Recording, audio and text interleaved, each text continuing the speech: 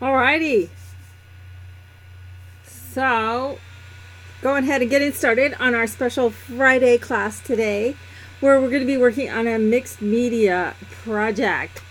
So, all right, so obviously we are already live, and I am assuming sound is good if people can hear me. And um, Joy's here.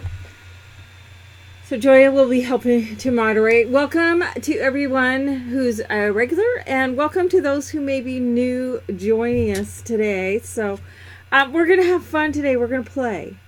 So um, as I've explained in some of my last um, recent shows, that we're going to be using my live shows for doing more um, playtime um, kind of thing. This one is probably going to end up needing a second class. We'll see how far we get, mainly because some of the stuff that we're going to be doing needs some drying time.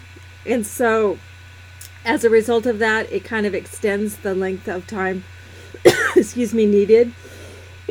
excuse me, I've had just a tickle of a throat. We've had a lot of wind blowing around like here lately. So, anyway, um, so we may need some extra time and we may um I'll debate. I think probably do it Sunday afternoon if we end up doing that second class. But typically my live shows now are going to be where we're playing with techniques or quick projects, that sort of thing. So this is a special project that we put in for a um, mixed media reverse canvas that I did for um, uh, the Crafters Workshop. Um, I'm on their design team this year and so um, I had an absolute blast doing this.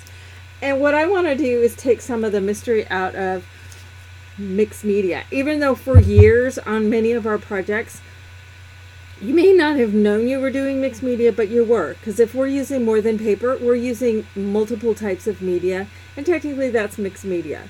Um, so, but with this one, we've used, um, I used some stencils, we've used some die cuts, we've used some some floral elements, some wire elements, some digitally printed elements that are on here uh, from some of my papers. Um, so we've got a lot of different things. We've used some sprays, we use some alcohol pens, we use some um, embossing, so all sorts of different um, products and things. We've also used some meso, meso some gesso and some mediums, um, some uh, paste that sort of thing. So what I want to do is show you what to use, when to use it, how to use it, and that sort of thing with this and other upcoming projects. Um, I'm kind of thinking of these canvases, these reverse canvases, is I want to do a series of four of them. You know me, I like doing series. Um, with an autumn one, which we're going to do today, which is going to be slightly different colors and materials that are in this one because um, I am going to be able to put together some kits for the one that we are doing um, today. And so I'm excited about that. The other thing we're going to do is I'm going to show you how to take a canvas, um, and this will be either via a video or during the next show, where we're going to take our canvas and attach it or incorporate it into a box to hold a mini album because my projects tend to need a mini album to go with them. Um, and the mini album is one that we've already started. It's a double envelope. It's available here on YouTube um, that you can go ahead and get started with. I'm going to kind of restart the one off camera that we've already started that using the papers that I'm going to be using on the project today as we continue that one uh, potentially a little bit further down the road. Um, but um, like I said, I do have mixed media kits. I've explained it in one of my previous shows. I'm not going to go through the whole thing. Um, now, on my last show, I did go through all the materials that were in it. So it's a mixed media basic kit. So it includes the gessos, the mediums, um, the uh, modeling Um, what else does it have? Some of the the waxes and other things that um, will be used commonly on many projects coming up. Um, and we use many of them on this project. Um, and then I I'll also go through um, here in a little bit just some of the other um, stuff that we will be using on this project specific. So I have the basics kits that can be used on multiple projects. And then I will have project specific kits that will be available that contain the specifics, the sprays, paints, that sort of thing that I'm using on the specific um, project, so that you know you can get get those. Um, now the basic kit uses multiple. The project specific kit, it's also a great way to build up things like um, your sprays that can be used like watercolors, um, and that sort of thing. So um, I do want to go ahead and get rolling on showing you what we're going to be using um, today because it's always a good idea to gather your materials together before you get started. And I will warn you, it's really easy to lose track of time when you're playing with some of these kinds of things. So um, be aware. um, but it is a lot of fun um, to play with. So um, to start with, let me switch um, cameras and um, we'll start going over. Now I've got some new lighting today and I think it's going to give us a lot better lighting so it doesn't look like we're sitting in the dark. Now I have a very dark brown um, tabletop that I'm trying to find the right covering for it so it doesn't look quite so much like a black hole. But I am excited with the new lighting and I think it's going to really help things um, a lot. Um, I don't know if this one interferes. No.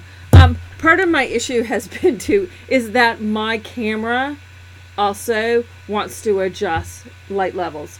So, you know, I want to make it as bright as possible so that you can see what's going on, and I think this is going to do a lot for that. So, anyway, to start with, what we are using is just your basic. Now, this is a pre-gessoed canvas. We're not stretching our canvases ourselves, um, like I had to do when I was in in um, painting classes in, in college and stuff. But um, pre-stretch canvas and I'm using a 9 by 12 size for my canvas. Um, any art supply store carries canvases, um, and you can get as close to this size as possible. Not every place carries every size. Um, so, um, and I'm turning it over, and we're using the back side so it becomes a bit like a shadow box. So let me then go ahead and show you some of the other stuff that we are going to be using. And anything that I'm showing you would be included in the project specific kit which I will have up tomorrow. So um, I just ran out of time today. So it's um, I'm going to be using some die cuts. Now a lot of mixed media people use a lot of die cuts and such but many of them are die cuts that I have no clue where to order them from or get them from um, I may have some of those kinds of die cuts in the future, but many times they're design team people, and I don't know where they get them from. So, um, um, or where you can order them from, or how you can afford them. So, I'm using die cuts made from some um, dies that I already have, but these dies I'm going to cut them and include them in um, the kits. And but I can show you. Some of you may have some of these dies because most of them are Tim Holtz dies. So, um, and I don't have this one um, out, but this is just a branch. A couple of of swirlies. Now this is from an old Tim Holtz alterations called Elegant Flourishes. Um, now whether we use all these or not, I don't know. These are out of some cardstock, um, some leaves, and I cut these for doing this one, and then I ended up not using, but but I may want to use them on uh, this one, and I don't have the die out for this, but it also comes with a um, texture plate so you can texture them. Um, then, and these are, the swirls were out of chipboard. These are out of cardstock, and then I've done these out of chipboard. So I have two each of these all these little, let's just fling it around, these little branches and stuff. And these are from Garden Greens. And then I also have a couple of these little branches, these little kind of almost like other evergreen type branches. And that's done from the tattered pine cone. And again, I should have checked because I'm not really sure.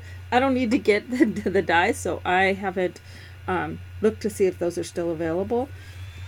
And then I also have some of these um, greenery pieces. I still have to clean some of the stuff out of of on those, and I've got multiples of the greeneries and two of the flowers, three of each of the plants. And these are also out of um, craft cardstock. And these are some, this is uh, probably one of my favorite Tim Holtz dies. Um, it's a, there's two different ones. Um, there's this guy, and then I put them all together in one thing. So um, there's it has these guys in it. So I'm using this one, and then I'm using this one and this one. No, this one, not that one. This one. So um, um, and these won't cut through um, chipboard. So so that's um, those are out of the cardstock, and all of these I used in the original. Um, now the dies on the original one I used um, this one, which is called Stone Increase, and it's TCW 834. And that's what I used for the stone, um, which is kind of hidden back behind, but the stonework that goes around the, the fairy door. And then I also used Lilacs, which the number is 86 TCW 860, and that's Lilacs. Now, we can use Lilacs the other option I thought about was using the wisteria, which is TCW 845. But I thought wisteria might be kind of cool so it hangs from above, whereas the lilac comes from below. Either one. Um, and we'll decide that in the moment when we're doing it. Now the paper that I'm going to do the album out of and the paper that I have the cut aparts for are a new paper called um, uh, November morning.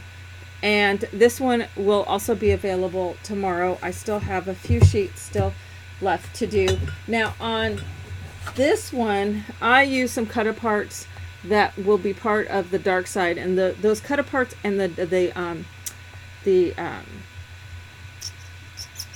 journal cards are going up tomorrow in for those who already have the dark side paper which we used on um the bed the um, the Nightmare Bed project. So these are from the dark side, um, and this door will also be on the dark side. And it's really cool as it looks 3D, but it is um, from that digital collection. So um, this one I use stuff from the dark side. This one I'm using it from November morning, and it's, so it's a little bit different in terms of coloring. So, but these are some cut aparts that are part of this um, this collection that I will be using. And this is something my, my latest paper collections will start to have as some cut apart so they can be like, you just cut them out kind of like they're die cuts. So, and we'll be using this, we'll have a purple door on this one using that, um, these cut aparts. Um, just to give you a, a bit of flavor for the papers that I'm going to use on the album that is going to go in with this is um, uh, again called November Morning. It's kind of that edge of fall into winter kind of look. So washed out autumny colors with some blues and greens. So kind of that faded, you know, the colors start to fade. Right now the colors outside here in in Western Washington are just rich. Um, except the tr- the leaves, we've had a bit of a storm today, so we've lost a lot of leaves. But it's supposed to be sunny um, tomorrow. So hopefully we'll get to enjoy some of the fall colors. But then after the fall colors, we kind of go into this muted tone, which in and of itself has got some real beautiful colors. It's just we just started with the drizzly rain, and so, um, but this is kind of that that that right where you go from fall into winter with these colors. So, and again, this these this paper will be up sometime tomorrow. Then we have some that don't have necessarily the foliage on them. Some subtle pattern ones. Those leaves that keep the veins but lose their their body to them. And then some all over patterns. So I have five more five more prints to go. Um, and then I have, as because everybody knows me, knows I have to have some stripes and that sort of thing. So I'll have three dry geometrics, and then I have five um, uh, solid color-ish type things to go with this. So, so there's about usually in my paper collections, there's about 30 sheets in them.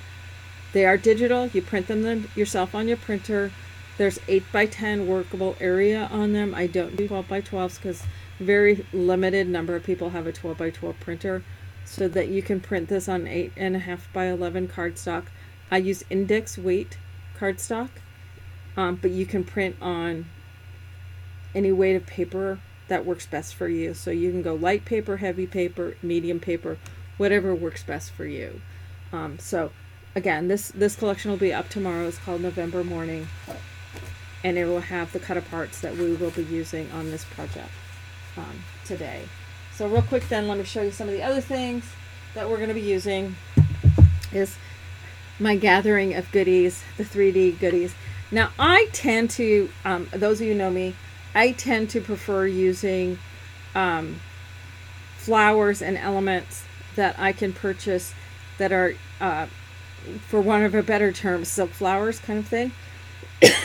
because I think there you get more for the same money, and there's really limited um, amount of, of, of limited, much more limited resources to get packaged up little flowers.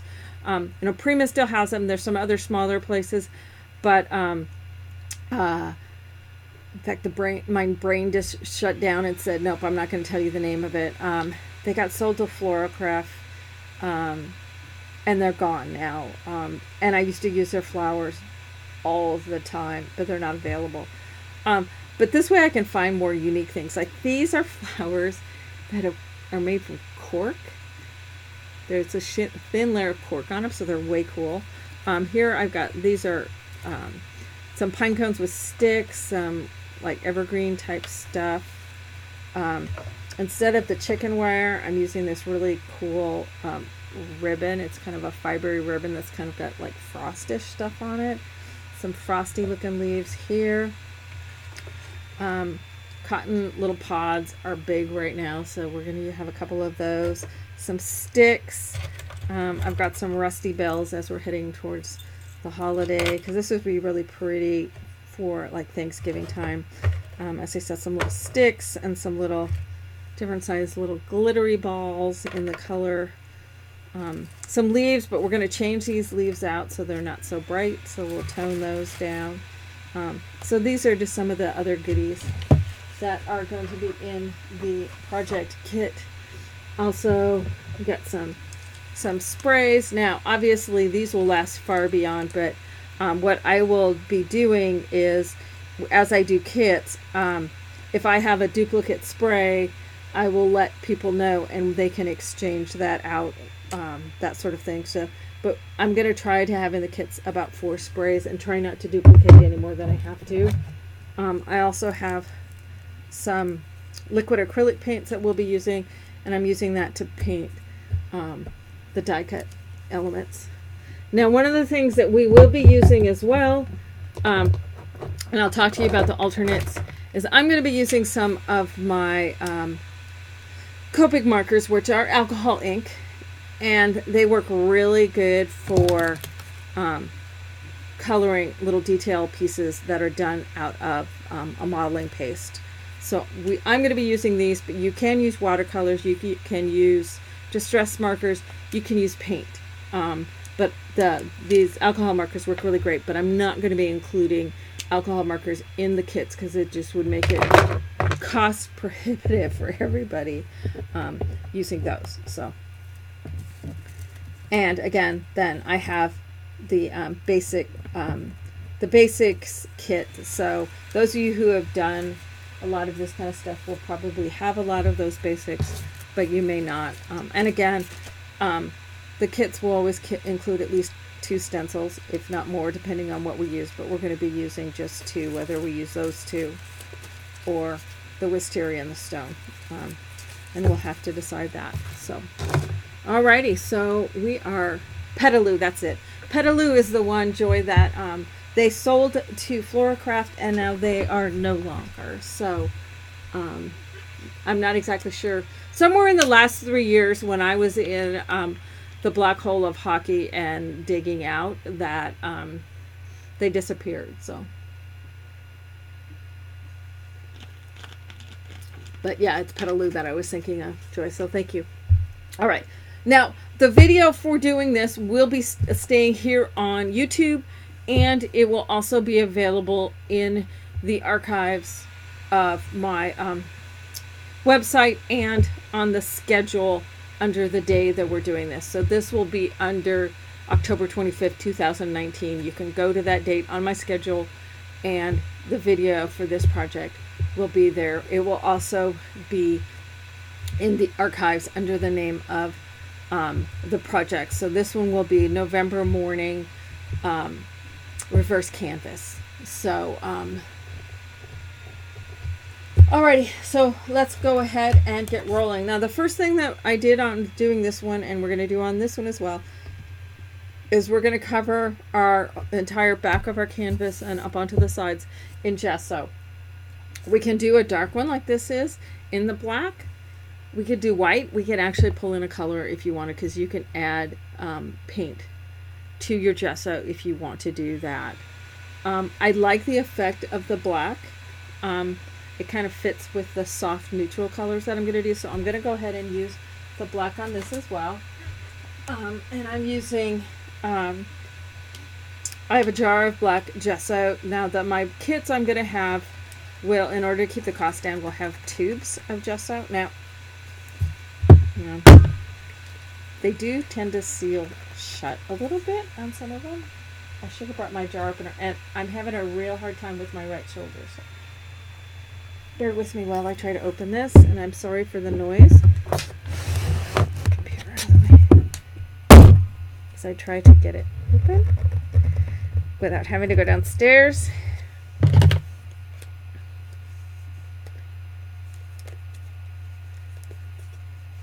Now with gesso, a lot of people go, what is gesso? What's the difference between gesso and like acrylic paint? Gesso is like a primer. When you prime your paint your walls, those of you who have painted walls and if you've primed it first, you find you use a whole lot less of your paint oh, instead of not priming it.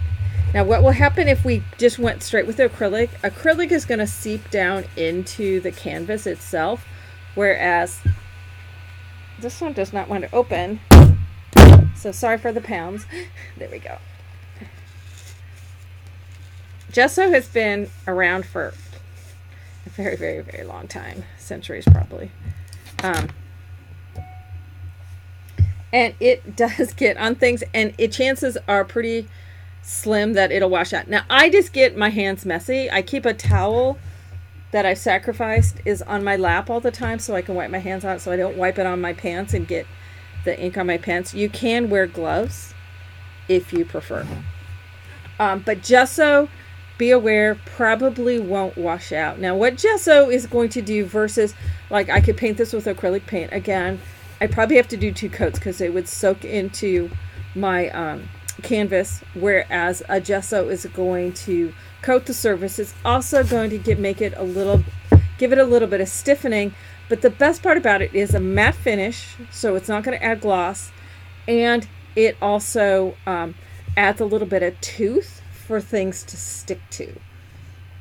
So, um, and I just use a nice big brush, and uh, I want to shove it up into the cracks underneath there as well. Um, but it also helps to seal the wood. Now, another thing that you can use gesso for, so we're using black, white's very, very common. There's also a clear gesso and the basics kit has clear gesso in it as well. And what a clear gesso is great for is sealing. So if I were going to be doing some mixed media techniques on top of a printed paper, whether it's my paper or some other papers, it will um, help seal it without adding a sheen to it, without adding a surface that will be um, repellent to um, other types of paints or media. So um, it's just a good primer coat. It makes a good sealant. Um, and it does, as I said, it dries matte so it doesn't dry sticky. Some people will find using like a medium as a sealant, like a gel medium, will find that um, depending on their climate, that a medium might not get, it might stay a little bit tacky.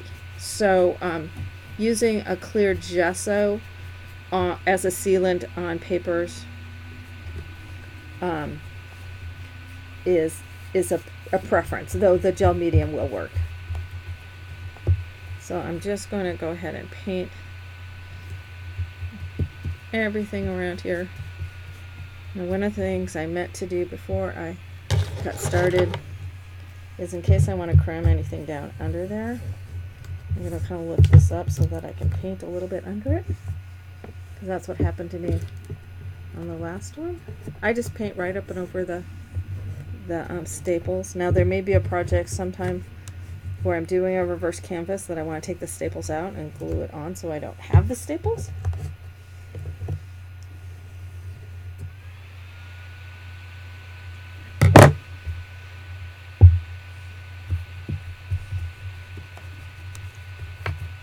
And gesso disc also dries pretty quickly, which is nice.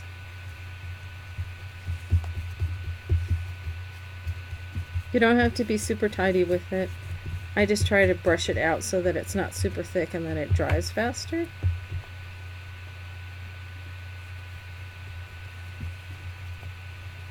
Kind of down over those corners.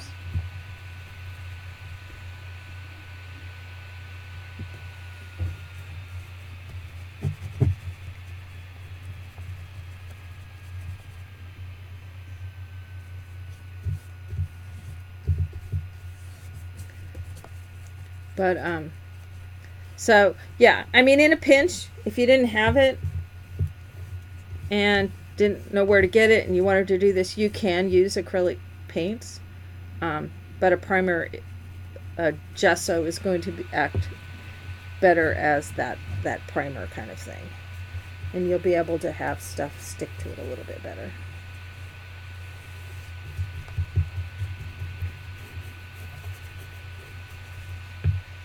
Let's go ahead and turn this around. See, I've already got paint on my.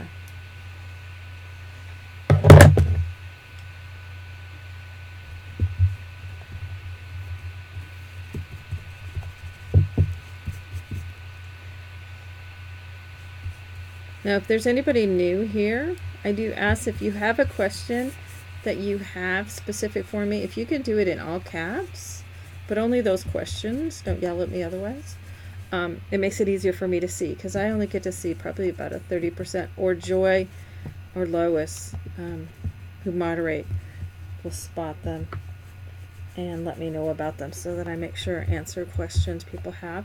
You can also feel free always to email me at laura at lauradenisondesigns.com if you have other questions while you're watching the videos after the show, that sort of thing. I try to get back to people as quickly as I can.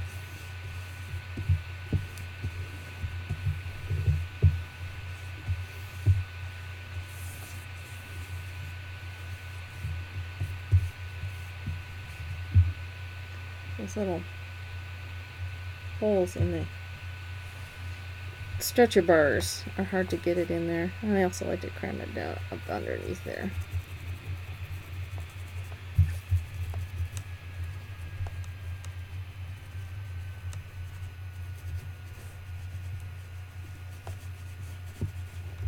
Okay.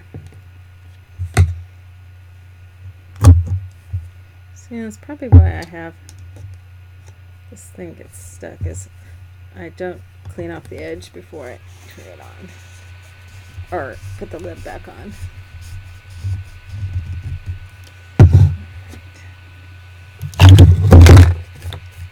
As I knock over half of stuff here.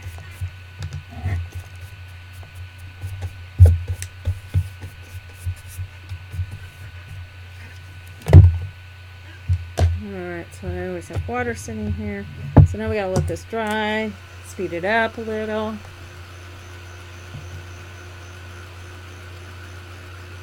Yeah, one of the things too, yes, is you is is Deborah saying she buys she buys some canvases that she finds maybe at uh, thrift stores, that sort of thing, and you can paint over old stuff that's on there, than buying new can- canvases. Yeah, so you can paint over. So if you have one that you're like going, oh God, I really screwed this one up, you can just paint over it. or if you have some old or you, like I said, finding some old ones at thrift stores like um, or Goodwill or something like that, like Deborah saying, um, you can then just paint over them. Because that's the other thing with gesso is it's, especially the white, um, it's very opaque versus like white acrylic. You'd have to do multiple coats to cover it, but um, with gesso you can paint right over it. So.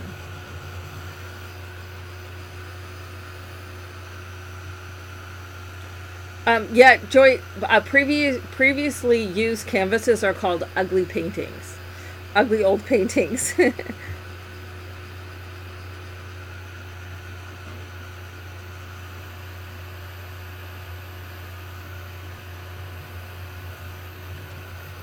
get this dry. See, and this is this is the drying time stuff that can add to our time class time.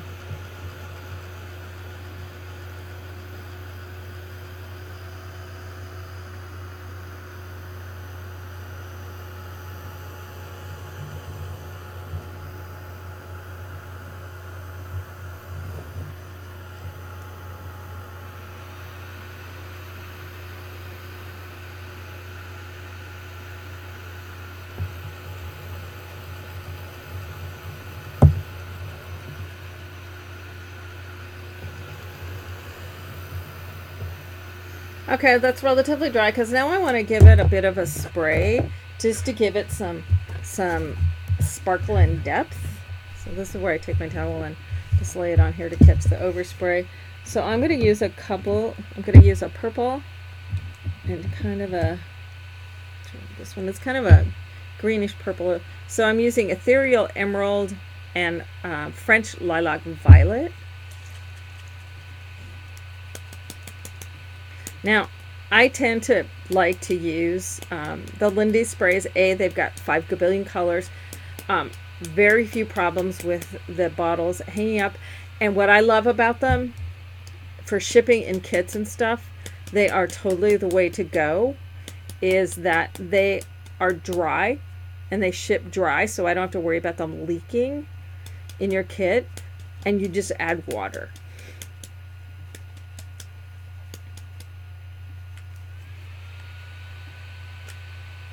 And then I'm just going to give it some spritz. It's not really going to show much. And I'm mainly focusing more to the top because the bottom part's going to get covered over.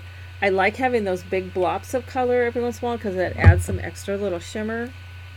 Um, give it a little bit of a dry in between. So that kind of has a bronzy-ish tone, bronzy browny type of tone to it. Go ahead and dry that a bit and then add the lilac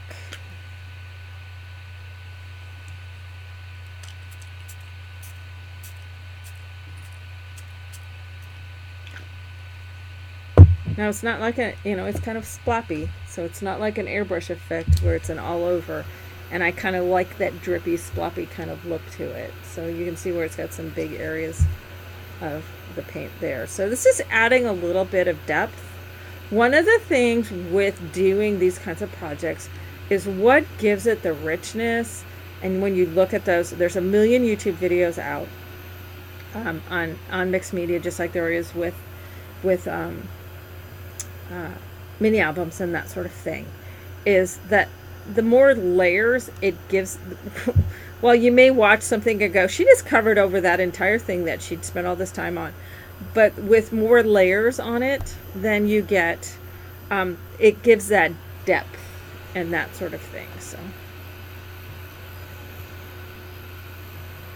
so there it's got some kind of bronzy tones, some purpley tones. So that's just going to give us some, some added extra little layers in there. Okay, so now we have to decide. I'm going to go ahead and cut out my door so we can kind of plan placement and that sort of thing.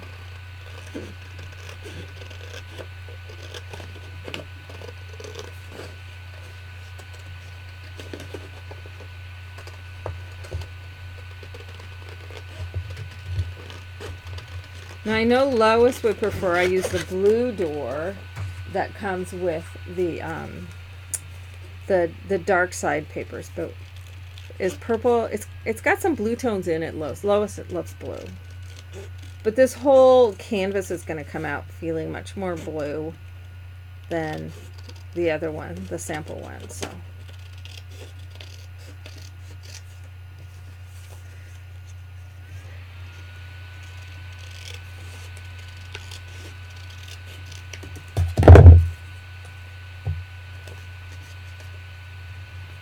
So, and that's going to be approximately down in there. So if I decide I'm going to use these, they, they'll tuck in a little bit behind there.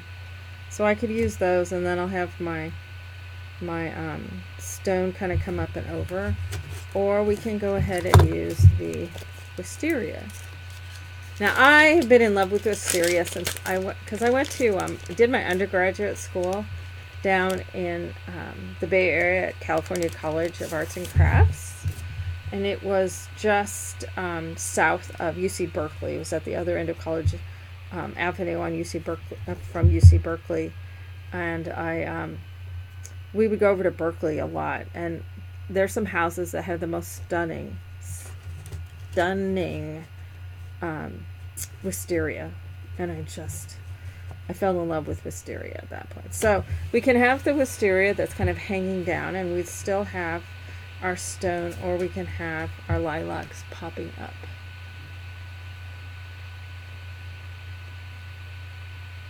So you like wisteria or do we like the lilacs? I'm letting you guys decide.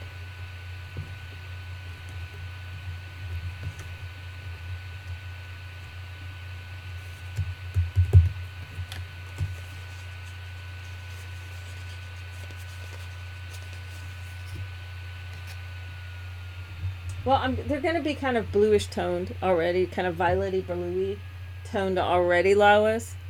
So, okay, we got two wisterias.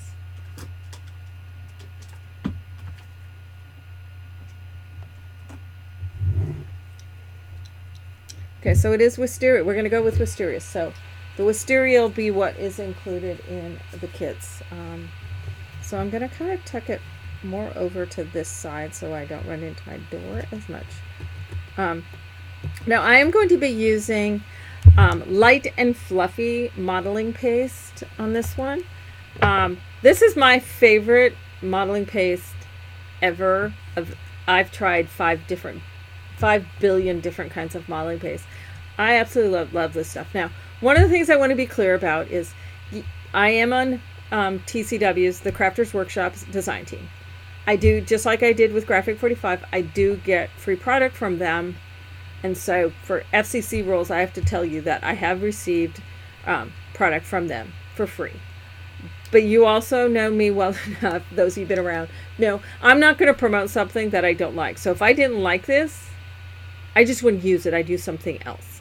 Um, so, because um, I'm I'm never going to be one who's going to tell you to use something when behind the scenes I use something else or if I didn't like it, I I just I wouldn't use it. You know, there's other products that I get sent that I don't use.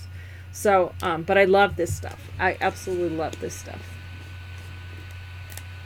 So, um, and this this has a consistency. It's like whipped um, frosting, um, and it's lightweight. It doesn't weigh a ton, um, and it has just a really crisp um, a Christmas to crispness to it for the um, uh, the stenciling. It doesn't mush out at all. It stays crisp, but it is very stark white. Um, and so you can always mix some color in with it, but that will change the consistency a bit. So, but um, and I apply it with a palette knife, and I just take a scoop of it, and we're just going to scrape it over the top. You just you don't need a super thick layer. Um, just want to make sure you cover over all the parts. And you can feel free to scrape a little bit. Once you get started, your stencil is not going to move.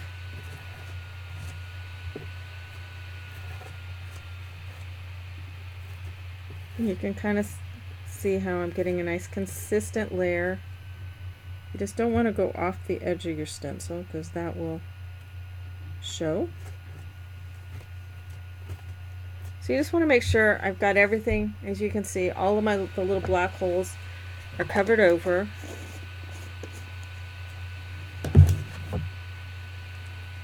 And I do use a lot of paper towels and baby wipes. Clean that off. Any modeling paste or mediums, I clean off my stencils um, pretty much immediately. I don't like to leave those on there because you can't get them off. So then we're just going to pop this up, which is a little tricky because I got it tucked underneath. So try to do it without messing it up too much. But see how nice and crisp that gives the image? It's just like perfect. So while that has to dry for a few minutes anyway, I'm just going to do a a real basic cleaning of this on top of my paper towel with a baby wipe. Baby wipes are a, a must um, have when you're playing with messy products. Clean that off. Now paint, paint I don't clean off stencils, as you saw with the lilacs. I originally had done them with paint and I didn't like how it looked, so I switched it but so I don't clean the paint off. So I've got that all cleaned off. So my wisteria is cleaned off. I could probably use this paper towel for something else. It's a wet one for something else too. So let's go ahead and get this dry. Now you don't want to hold your heat source in a specific spot while you're you want to keep it really moving when you're drying excuse me either modeling paste or um, the um, any mediums and stuff because they can bubble. So you don't want to get let it get too hot. hot. Um, what would you say is the difference between modeling paste and texture paste? Modeling paste. Um, now this one's a specialty modeling paste. Modeling paste has a bit of a grit to it, has some body to it, whereas a texture paste usually has texture. It has some grit in it. It has um, something that makes it much more textury. And I'm going to talk about that a little bit more because we are going to be using some modeling paste and I am going to be adding some goop, in, some sand and crap into it. Sorry, don't mean to call it crap, but I'm going to be adding some stuff to turn it into a texture paste and I can explain it better at that point. Um, now, a gel versus a modeling paste is a gel is much more of a give a translucency um, a, a gel medium is added to um, um, is was originally designed to be added to um, paints to give them some some uh, more body and texture. Um, so a gel and a medium is different than a modeling paste. Um, a paste is going to hold its shape a little bit better than like a gel would like this is, and then a texture paste again. I'm going to explain that here in just a few minutes. Yeah, if you have like a cake pan, a big flat cake pan that you can put with water and you have room on a table, side table, um, I have, I many times have done that and where I'm using a lot of stencils and then you can just throw your stencil into that water so it stays um, moist until you're ready to clean it. Or like I did the other day, I wrapped something uh, it was a sponge. I wrapped it in a baby wipe, and it's so it stays damp until I'm ready to um, to clean it.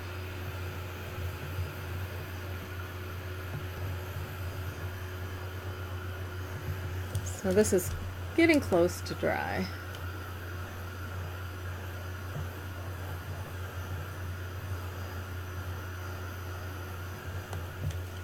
Okay, it's still it's pretty much it's dry to the touch it's still a little soft but I'm going to dry it a little bit more because what I'm going to do is I'm going to take a little bit more of the the bronzy spray that I had used before I'm going to spray over this a little bit, just just a little bit to give it just some, to take away the super brightness. So just to throw a little bit of extra on there. Best scissors for fussy cutting. My favorite fussy cutting scissors. I did with my okay. Um, this is Martha Stewart, but um, there's other ones that use them. I like these little spring-loaded ones. They work really well for my hands. Um, my hands don't get as tired. They're super sharp. Get in a little teeny tiny little areas. Because fussy cutting using scissors that have the fingers, um, I find it's hard on my hands, whereas I like these kind. So the spring-loaded ones, they've got super sharp little points, that kind of thing. So. One thing nice too with by doing these YouTube lives versus the Ustreams, which we did for so many years, is the um, chat, and I I have it to where the chat is available, so you can watch the chat while you're watching the show and see what the questions come up. So it's not just like me randomly just talking. So okay, so that's pretty much dry. Let it cool for just a sec so it's a little bit cooler. So, and then this is the point where I'm using my um, Copic markers, which I've got all these Copic markers that I've bought over the years and I don't use them that often. Um, Copic markers are an alcohol ink. You could also use distress markers. Those would work as well. Those are a water-based ink. So just be aware of that when you go to put other media on top of them. That is, if it has wet, it is going to smear it. You could use alcohol inks with a paintbrush and paint these. You can use um, the Lindy sprays to paint these. You could use watercolors to paint these. Um, you could even use acrylic paint. You just want to be real careful to hit just the, the parts that's stenciled on because it, it will show. Whereas these are so transparent on the black, they're not going um, to show. So so here I've got like my lightest tone and I, I like to use the brush tip. So I'm just going to be, and I don't have to be as, as, as careful because it's not really going to show on the black, but I do want to make sure that I'm covering over. Now I'm being a little bit careful on this just because um, this stuff, this modeling paste, the light and fluffy, does tend to, it dries to the touch on the top, but it's not always dry all the way down. And when you push on it a little bit if it's not completely dry it will um, move around on you because it is thick. So I just if you're not completely dry yet which this is this is for the most part dry but not 100% it's not like overnight type of dry so I just want to be real careful so I'm just adding some pale soft color it's probably hard to see on camera for the, the ends and then I'll get into darker tones as I go up. And as is always with um, any kind of alcohol ink, you can layer on top of it and add more color.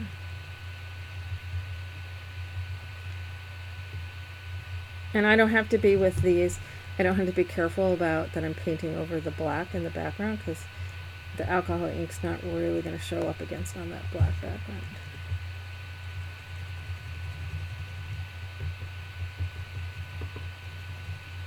And like I said too, I can layer on top of it. So if I wanted to make this a little more blue for Lois, I could. So then I'm going to go to the, my next, whoops. I like the brush tip. My next color and I can kind of blend in. Now I didn't have the bluey violet that I really wanted to do this. So we're going to make these a little bit more of the purpley tone. But I can go back over it with some light blue.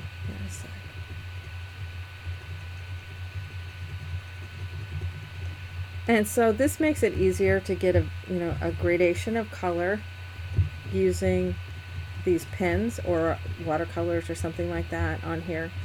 Um, any kind of transparent kind of color um, rather than adding paint and trying to do a variation or, or, a gradation of color using you know the the paste itself I could have done like a light blue and then added purple on top of it, possibly added that to my my paste, but I have to justify having all these pens somehow. So now we go to a darker color. So I'm just graduating the tone.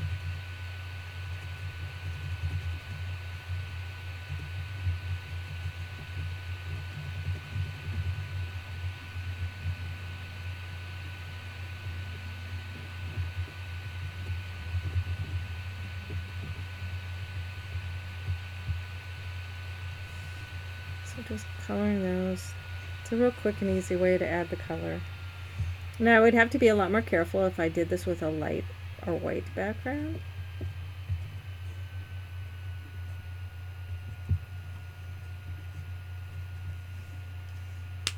Alrighty, so then I want to add some green for my leaves up here.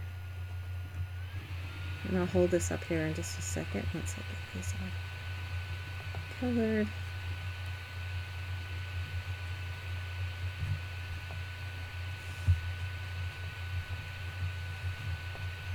But again, distress markers would work as well. I just would potentially do maybe a coating, a clear coating of like a the clear gesso over the top or some other way of sealing the distress markers because we're going to be doing some wet stuff over the top. So I want a little bit of darker green just to add some depth.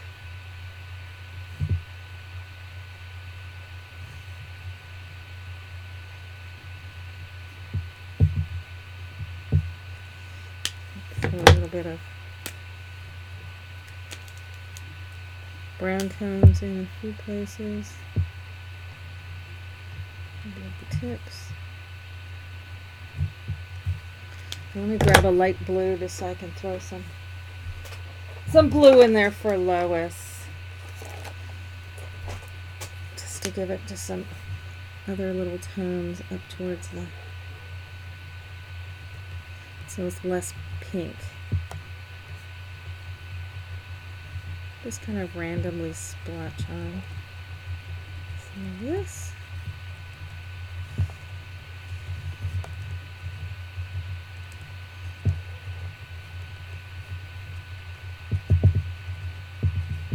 Can see, I'm just kind of randomly tossing this blue tone in there. Not getting too too much, too much. All right, so that gives me my wisteria all colored. See how quick and easy that was?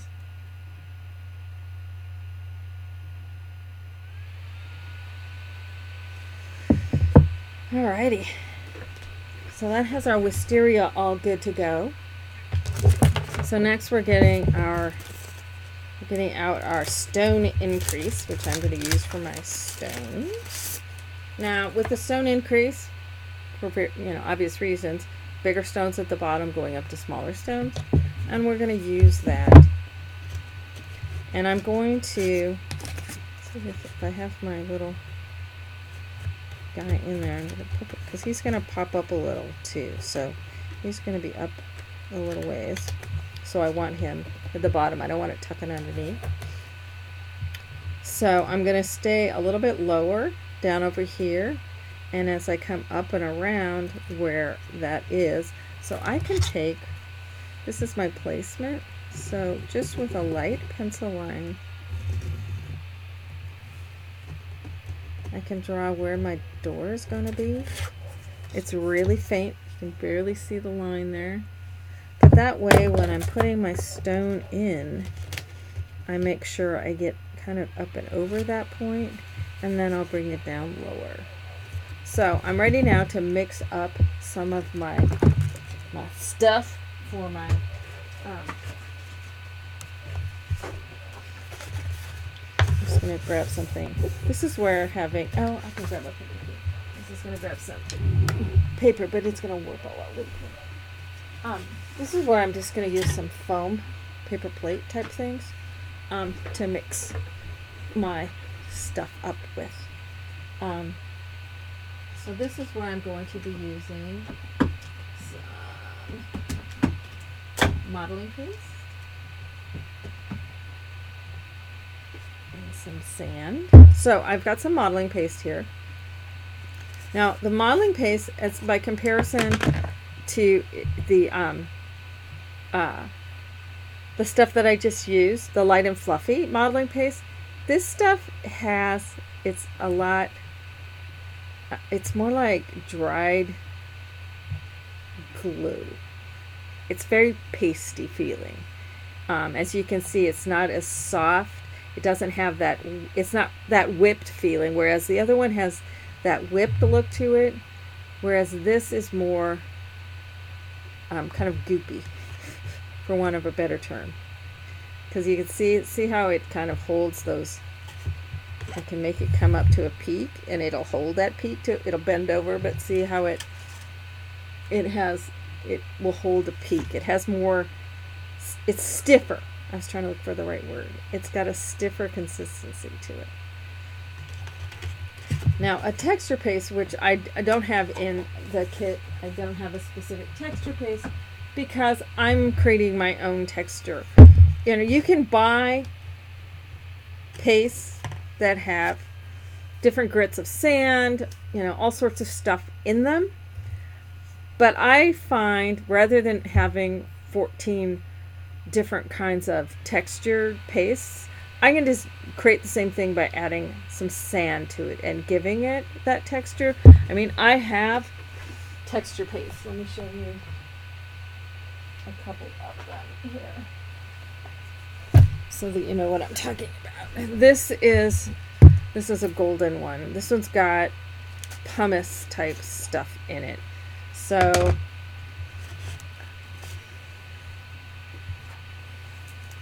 So this is has this is getting kind of dried up because I don't use it. So you can just hear it. It's you can see how it's got like sand in it to give it texture. So you know you can you you can buy these, or you can just add sand to what you've already got. Um, Prima's got these stone effect pastes that have different kinds of stone stuff in them. This one's like concrete, so it's gray, and it's got. I'm gonna use these. oh, they were sealed up, but I used one of them.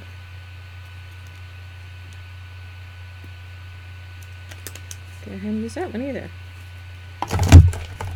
So you can add color to it. This one's limestone.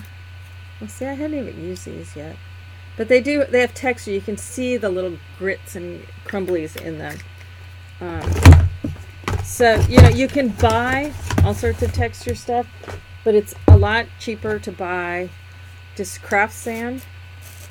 And I'm just going to add, and this is, you're going to have, you know, some bags of the sand. You don't need a lot. Start with a little, you can always add more. And we're just going to mix it in to give us the texture you can you can use yeah you can put just about anything you want in there. You can add dirt to it if you want to. Try to get the sand in there. Come on.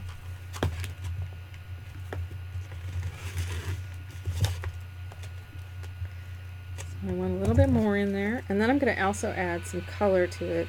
This is kind of a pale grayish tone with the one that this but they also um, um, Crafters Workshop has um, modeling paste in all sorts of. They have it in black, they have it in white, they have it in metallic.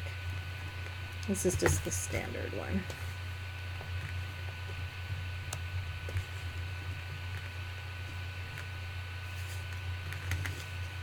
So you can see now that it's that rather than being so gummy, now it has. Let's smooth it out it has a texture now to it that's it's because it's got the sands in there. So it's giving it a gritty texture more of a stone like texture.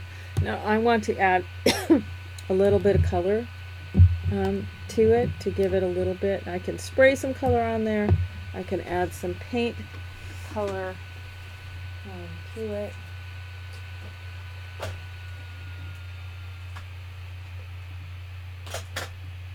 gray.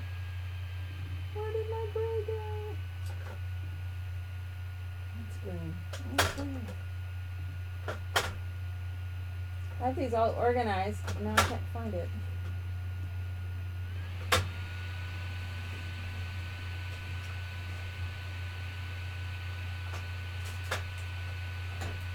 Oh, come on. Where did it go? Did I set, leave it setting out somewhere?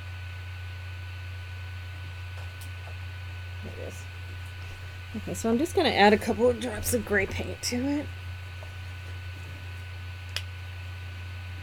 It is great, so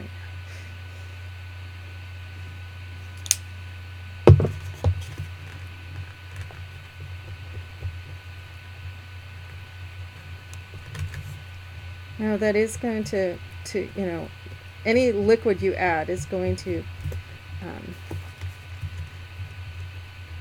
change the viscosity or the thickness. So you don't want to add a lot. And I am going to be painting over, so I want to keep it a pale gray. Mix it up. A little bit of variation is fine. Okay, that's about the consistency I want. And that's probably about enough. It's hard to guess. You can always mix more, and it's if it's not perfect, guess what? It's no big deal. okay, I'm going to get right down into the corner with that. But I'm going to turn because it's easier to work from this way. So this is the bottom. So I want the big ones down at the bottom. But I also have to remember my doors in there so I don't have to come over too far. So I don't have to cover everything over.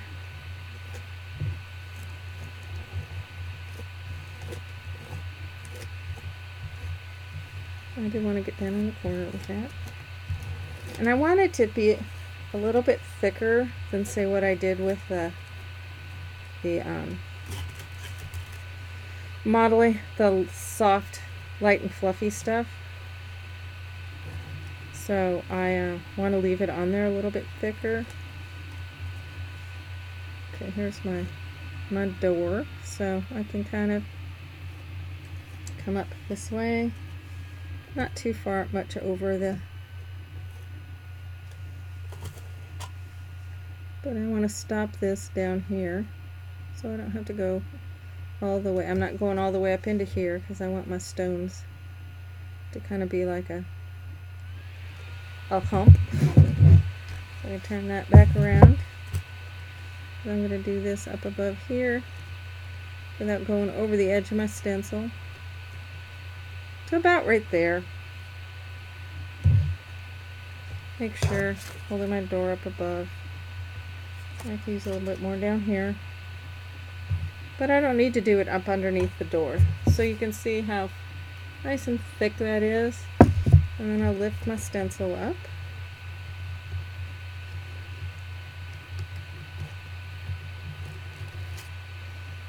Now it gives me kind of a stone-like look to it. Now I need to do some over in here. So, and it doesn't really matter if it gets a little bit on it. It doesn't really matter, but I'm going to hold it up a little bit.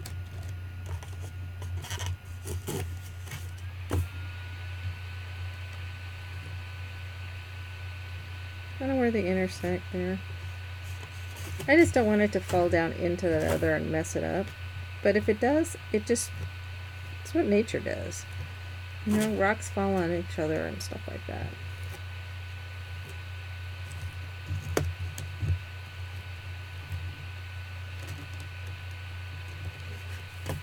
Think that's going to cover over where my door goes. It didn't have much over here on this side. But you know what? If things get a little messy, I got some on the edge, it doesn't matter. It's not going to really show.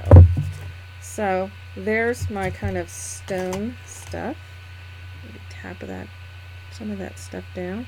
Once it's a little drier, I can tap that a down a little bit, and I will again grab. I'll grab two of these since I don't get to go wash this out right now. I'll just take and put it in between two wet so it stays wet. And then I'm going to take some of this and also a little bit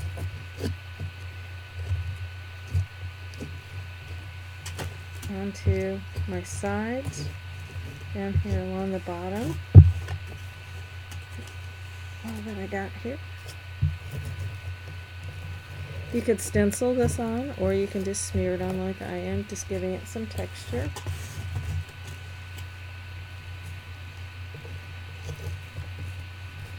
Now it looks like I could use a little bit more, so we're going to mix up a little bit more. So you can see, hey, it happens. That's not the right one. That's the one that's already textured. See, I have a nice little tray that I'm now keeping everything that's in the kit that you guys are getting there so that I don't grab stuff that you guys don't necessarily have.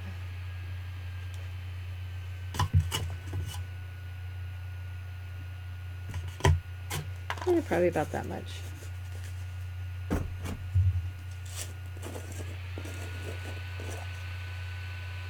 Add a little bit of sand to it. Not a lot. As I said, your sand will come in a little bag. I'm going to buy a big old huge jar of it.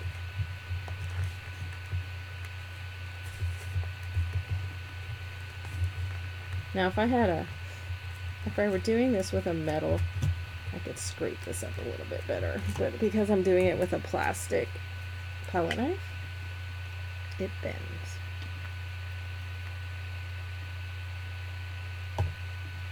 It's going to come out a little bit darker gray, but that's okay.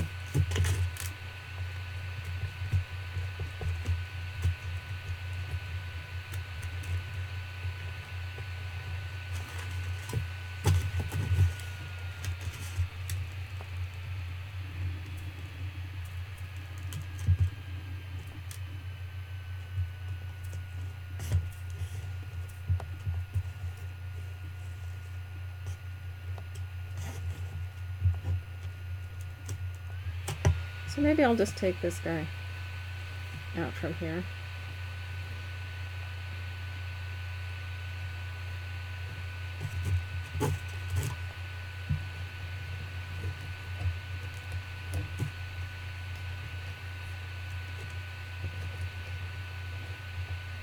Give it some kind of that stone look along there.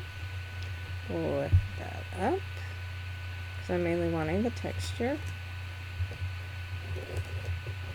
See, you don't have to be tidy.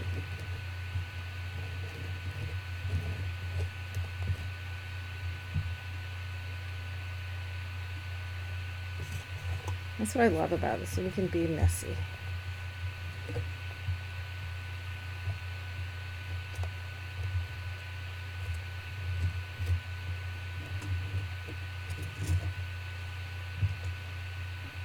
It's like being a kid again and getting to play.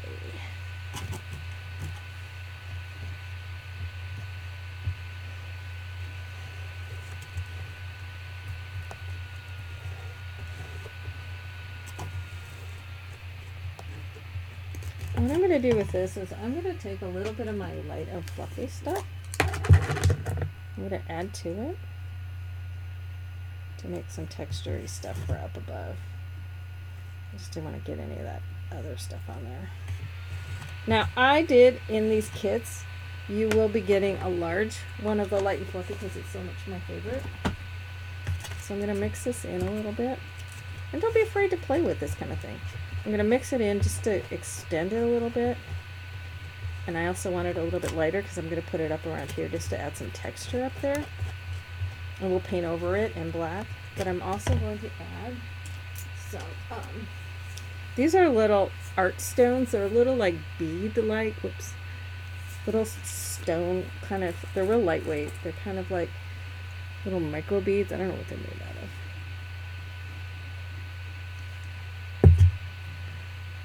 I've been playing it. I'm going to dump this on there. I'm just going to, I want this to have a little bit even more texture.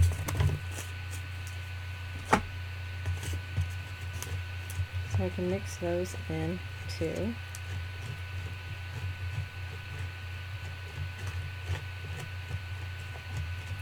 So I'm just going to take and put some of this up here just to give this some texture as well, but we're going to paint over it. We're not going to have it be gray.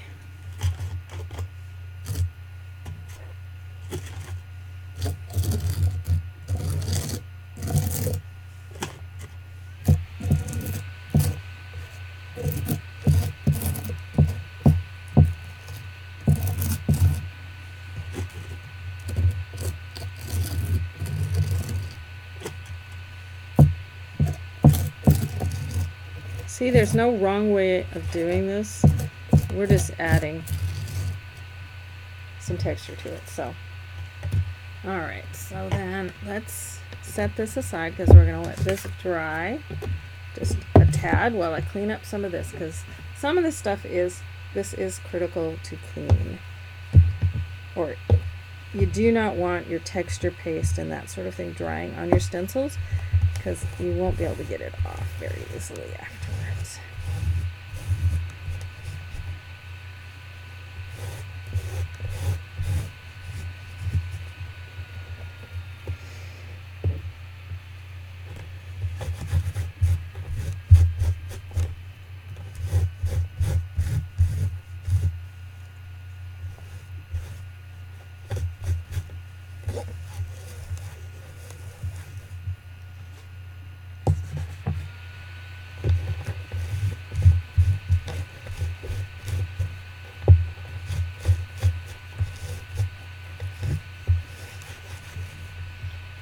So then I'm wrap this one in a what I've got the most of it off, but I'm gonna wrap it with a. Uh, this has got that gel on it too. So, but I'm gonna just have it be with that over it. Set that aside so after the show's over, I can clean that up and like, my hands up just a bit.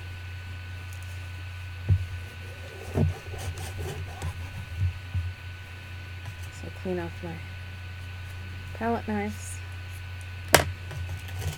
One thing nice this stuff does is it forces you every once in a while to just get up and keep the blood pumping by going in and cleaning off stuff. Now this, by doing it on a toss, I can now throw that away.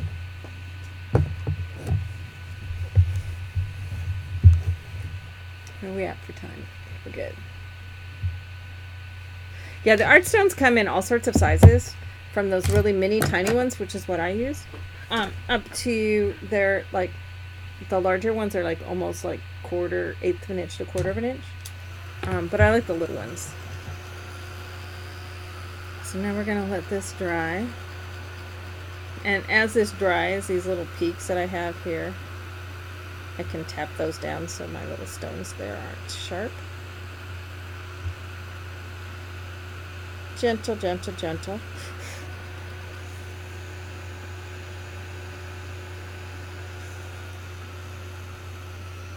You gotta wait till it's got just kind of a skin on top.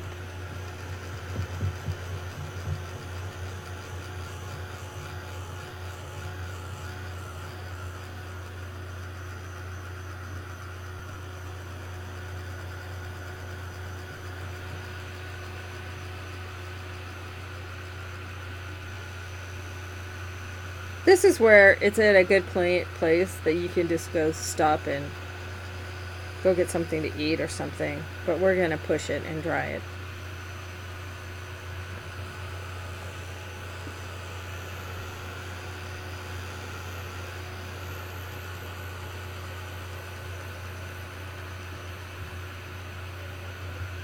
And we're almost done with the messy part, so...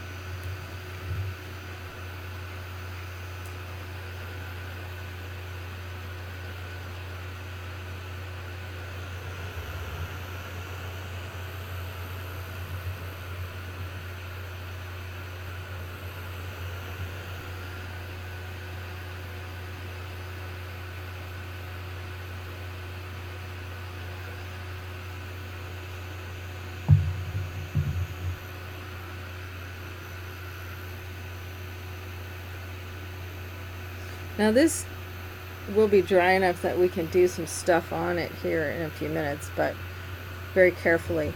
But this is something you might want to let dry for a longer time, typically. We're kind of forcing the issue by by um,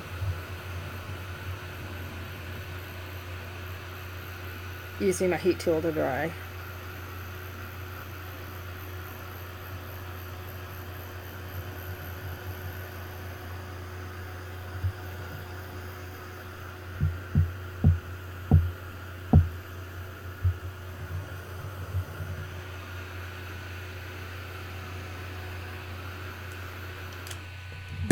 So what I'm going to do to start I'm going to bring my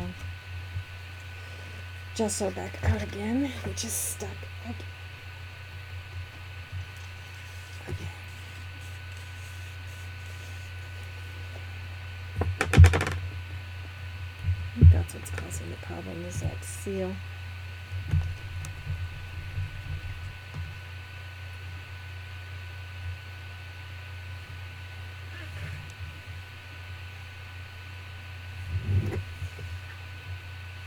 So I'm just gonna do my gesso right over. I'm gonna be very gentle how I'm doing this because it would be better if this were dry. Just over this part I did up at the top.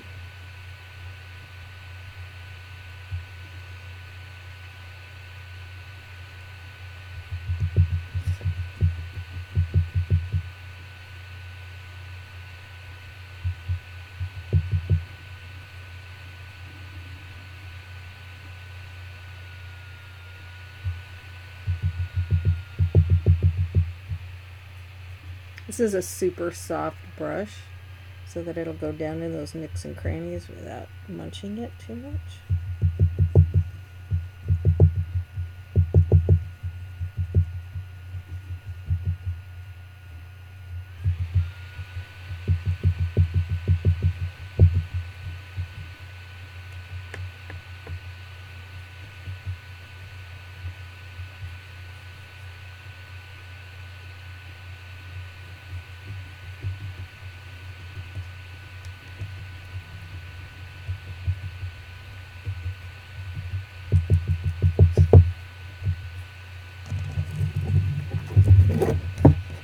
And it's just on this upper part that I'm doing this.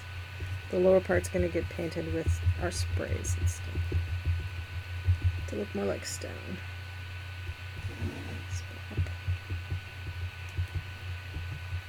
And then we'll enhance this texture here and just a bit with some of our other goodies.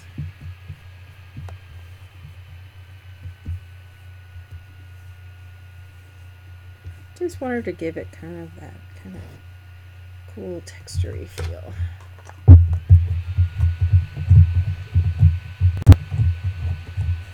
I gotta work on this jar, cleaning it up.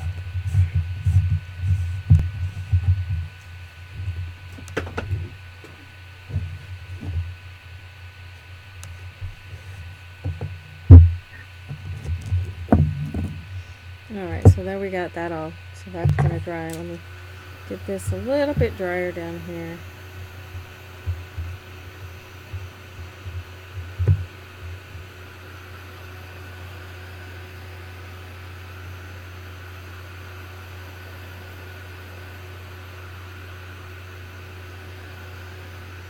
Alright, so then I'm going to bring in my sprays again. Now I'm using, I'm not going to pull the purple one in. Um, the first two I use. I'm going to use a brown and a green. And this I also want to use a brush. Now I'm going to take the lids out of these after I shake them.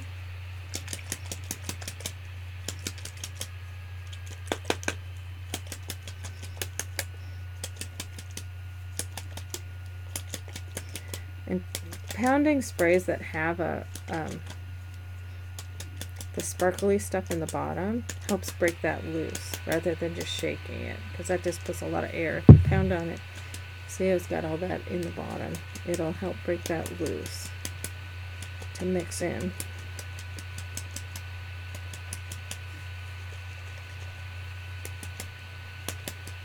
Some of these have been sitting for a while, so it's going to take a little bit.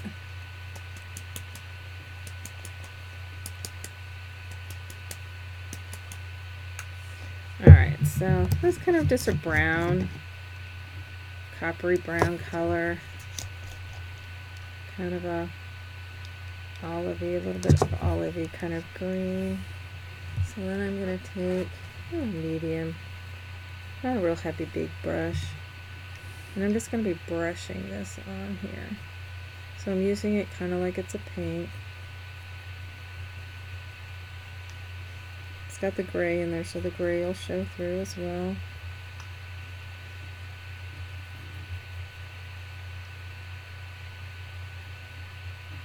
You can also use watercolors if you don't want the shimmer, or you don't shake it up as much, and then you don't get the shimmer as much.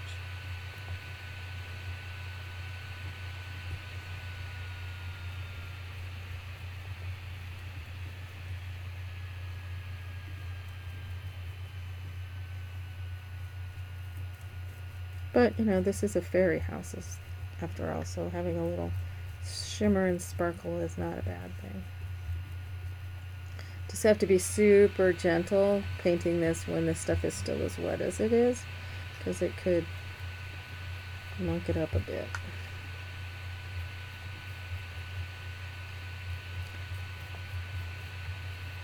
I thought this was going to be a lot greener than it is, so should have tested it out a little bit more. It's working.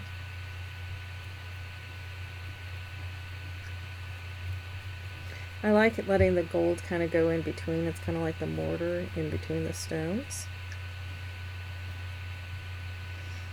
And there's no super specific, you gotta, you know, it's, it's, it's very forgiving is what I love about doing this kind of stuff. Is if it's not perfect, nobody knows the difference and it still looks way cool. you don't have to follow any specific rules. So now we got this little kind of coppery tone to add some more brownness.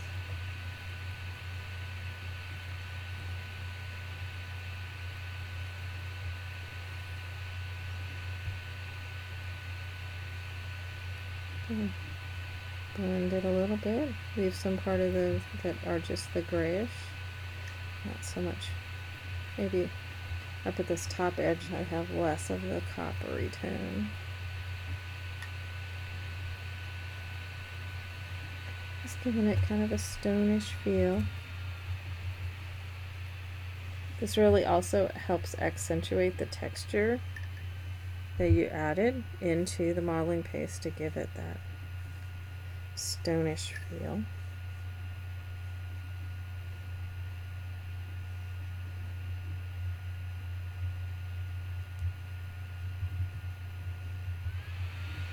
Mm, I think I might add in some of the the greenish purpley stuff that we used at the very start. This has got more of the olive tone. Probably should brush my br wash my brush out a little bit, but I didn't. Yeah, this is gives us that kind of olivey tone to it.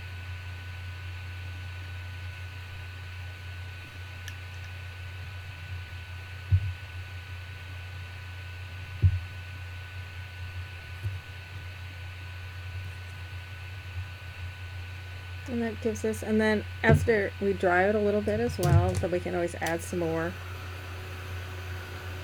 onto it as well in spots.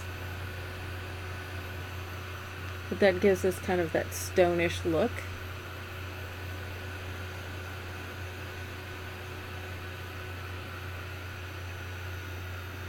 This video will be available here um, as some somebody's having to leave it and they like the video so that they can come back to it. Um, it'll be here on my website or here on my channel. It'll also be over on my website at Laura Denison Designs. So, you know, whatever method works for you.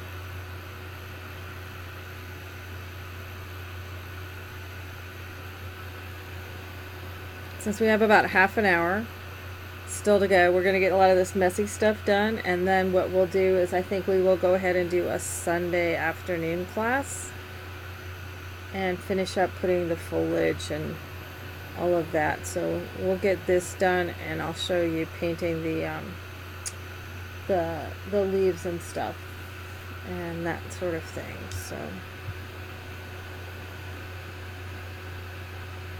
but that way this can have a good dry.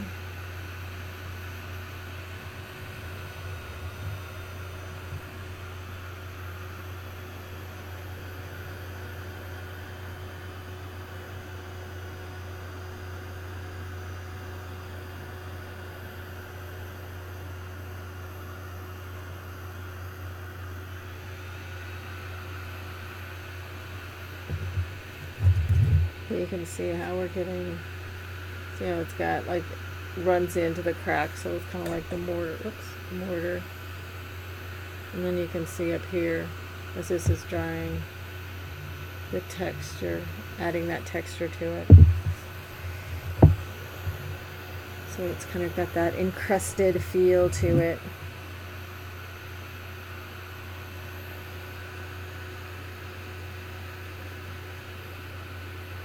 And then it's always a good idea to remember which which lid goes to which.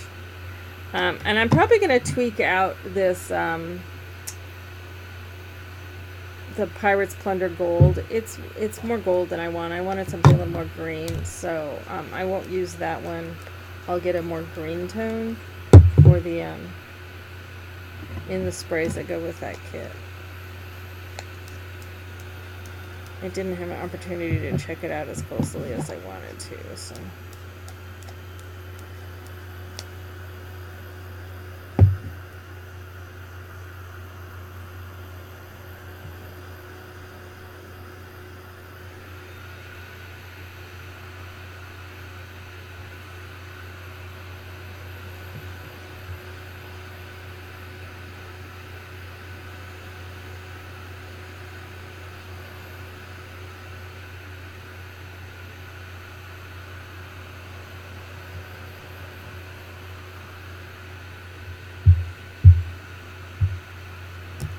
Well, almost close.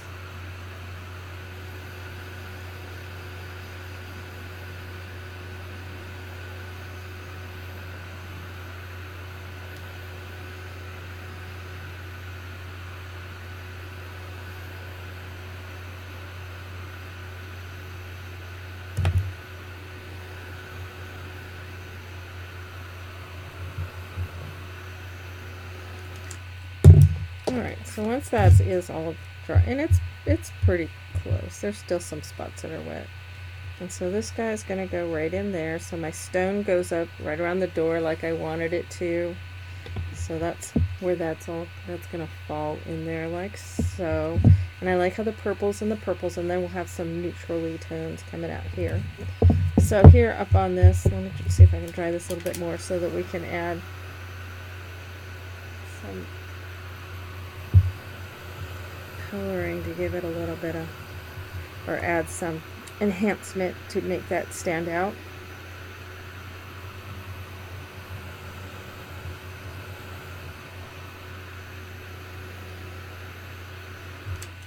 As you can see from the original one, a lot of this stuff on this frame, you know, you got a little bit of the texture showing through here, but I did cover a lot of it with, you know, foliage and that sort of thing. So you don't always see all of that here. You can see a little bit of the stone coming over here. Um, so, you know, not everything is always going to completely show. Now, one of the other um, things that I didn't get to show when I showed the kit the other day for the primary kit, the basic kit, is the um, one of the, the vintage silk wax, um, which is the only wax I didn't have and it's kind of a um, creamy kind of color. Now I tend to put the wax on. You can put it on with a brush. I like to do it with just my finger. I can control it. So I'm just dabbing a little onto my finger and then kind of just going over it kind of like you're dry brushing it.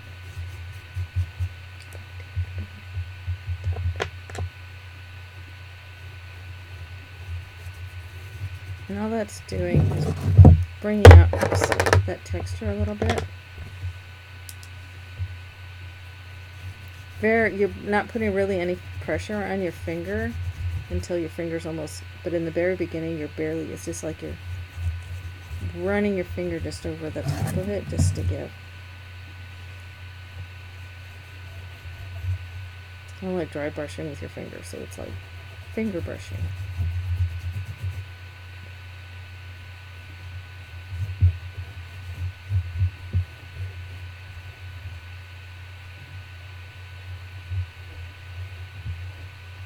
Always go with just a little bit. You can always add more. It's harder to make it go away. You see it stays dark. I'm not really adding metallic. It's more of a pearl type. But that just enhances. It kind of just barely it gives just a hint. So you can see the texture a little bit better. Yeah, the stuff does smell good. So that gives you this that little bit of textury type of thing. Now, um, with my door, I'm going to take and attach it to a piece of lightweight chipboard.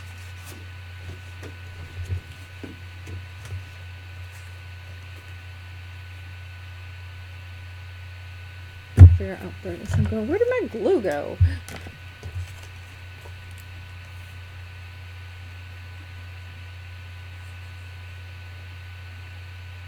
Now if I were going to do anything on to the top of this, where I was concerned about the ink on the door, um, I would cover this with some clear gesso. But I'm not really going to be doing anything other than gluing some stuff near it or using distress on it. So um, it doesn't it doesn't need to be coated. If you want to add some paint stuff to it, that sort of thing, then you would want to um, coat it and seal it.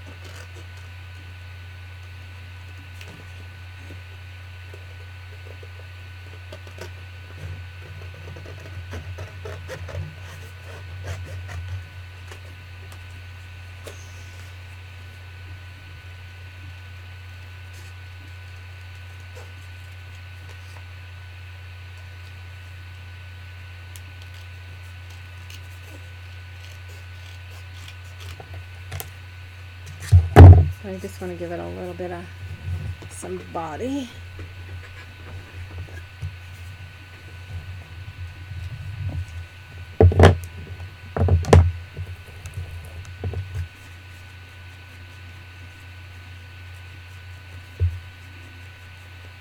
I'm using vintage photo. If you want to use a different color, by all means. But those of you know me, know I use vintage photo a lot.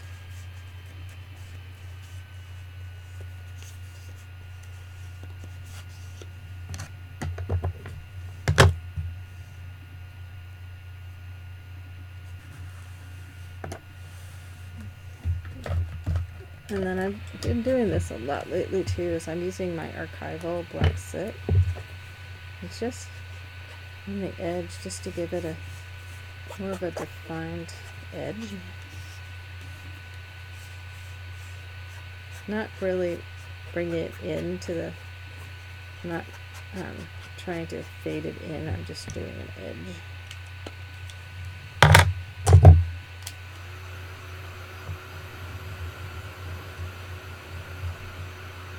Enjoy you're So now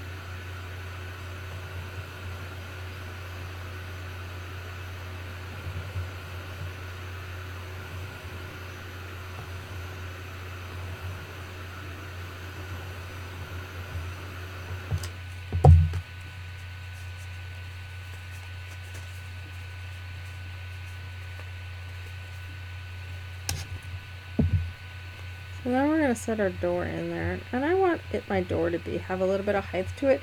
Now you can set the height up using some uh, foam dots. Takes a lot of them to do that. You can use some chipboard, couple layers of chipboard, couple layers of cardboard. So if you have some old shipping boxes, I'm to go whack a piece off of this box, a box that I have sitting here. I have a shelf I'm putting up, so it's I don't need the box.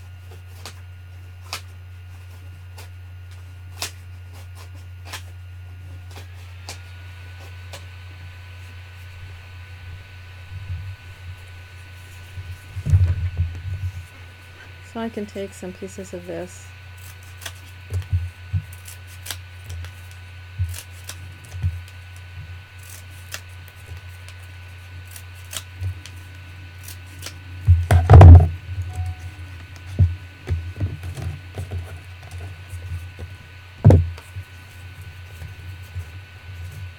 onto the back.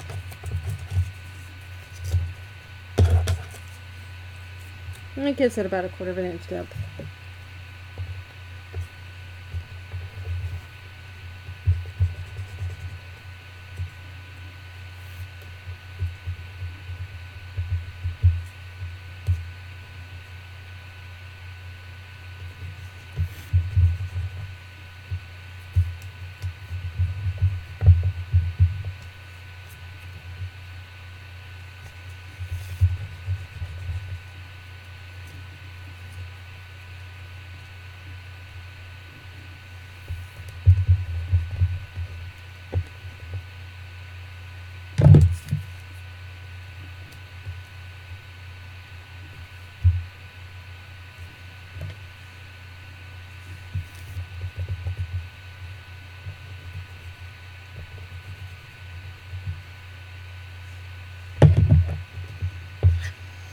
So I can take my door where it's got my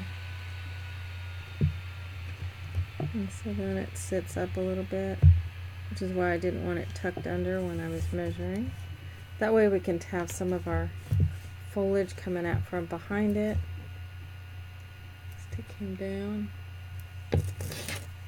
So we got our door in, we got our wisteria, we've got our, our stones and stuff for it. So now we're ready to start playing with some of the other stuff that we're going to create layers with. And one of the things, um, I had the chicken wire on the other one, um, and getting the clean chicken wire um, is a little bit more challenging, and this stuff fit more with what I was doing on this one anyway.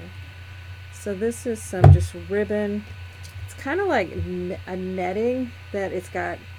So it's been paint had some paint on it. It's got some um, stuff added to it, some glitter and stuff on it. So it's kind of really cool stuff. So we'll be able to just glue this on there. So we'll be able to have some stuff underneath. And this will give it some cool texture down one side that will also be able to give us some layering like we've done on the original one. So on the original one, I put some of my foliage underneath this chicken wire so see you can see some of it's underneath and then I put the chicken wire down and then it gives me another layer of depth on there which is what this will do. So we'll be able to put some of the stuff underneath. Now this is pretty wide. This is a lot narrower so um, it won't cover as much because it's a little denser. So it's about half the width which works great because um, I wouldn't want it that dense going halfway across um, the um, the whole thing. So what I want to do next though is to be painting some of our chipboard and stuff so that we can kind of figure out how this is all going to lay out. But I'm liking how this is coming together. Is this making sense? Does anybody have any questions at this point?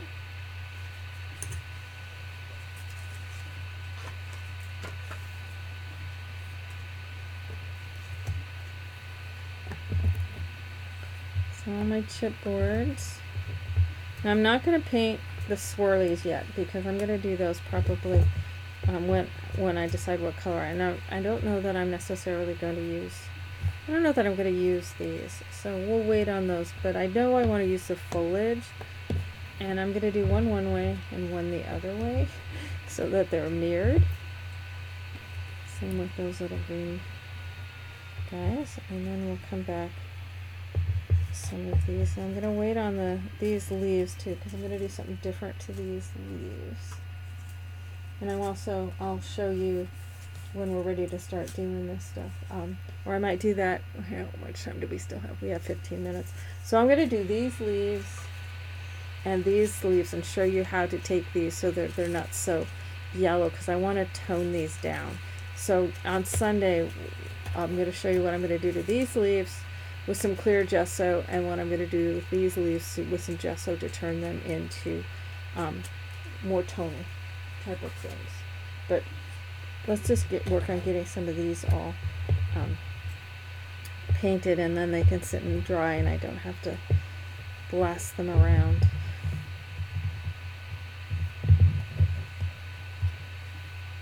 Turn at least one of these, each of these over, so pop out the parts that didn't pop out before.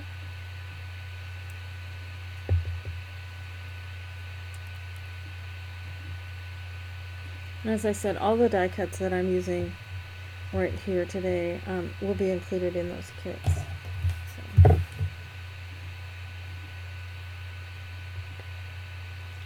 All right, so I've got several shades of just green liquid acrylic.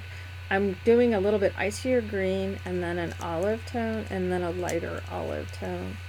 So those are the colors that I'm going to be using.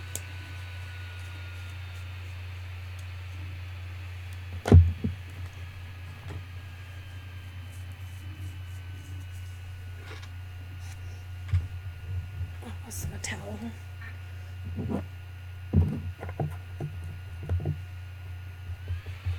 And I'm just going to be painting these.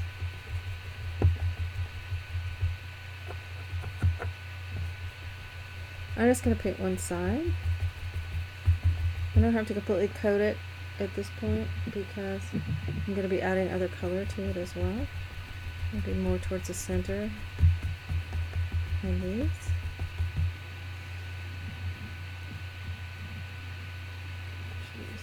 smaller brush.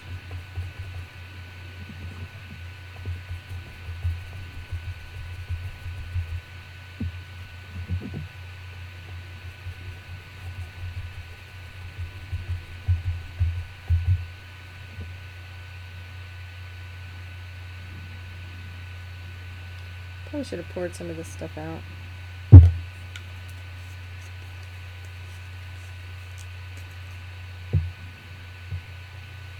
A lot easier. Once I make my life harder by just trying to mitigate the mess, but I'm too tidy is my problem. So like, so I was saying the other day is I'm just I'm a tidy crafter. Now these I'm going to totally coat because these I want to be that kind of icy green.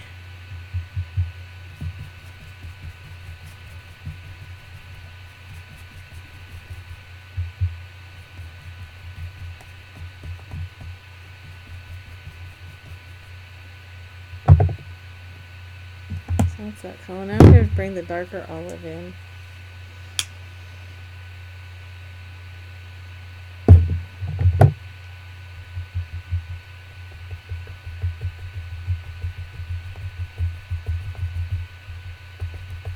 I'm just kind of dabbering it on to cover over the spots. And it just gives some variation in tones. You just don't want them to be, you know, one note, so to speak. One kind of color. You just kind of blend it all together a little bit. So I don't want to cover over all the green. I just want to cover back over the chip that I left out.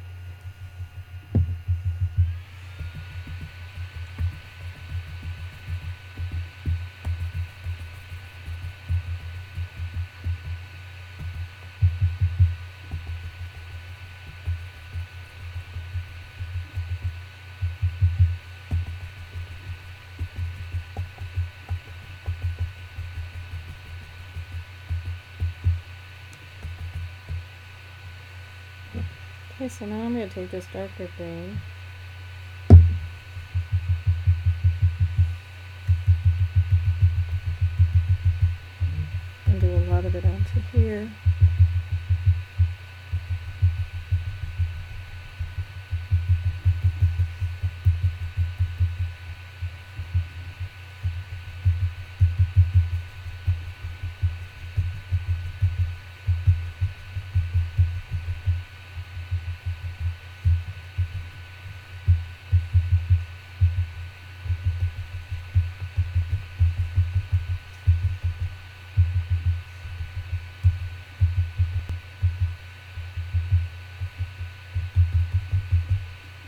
So I'm going to add some lighter green to these guys.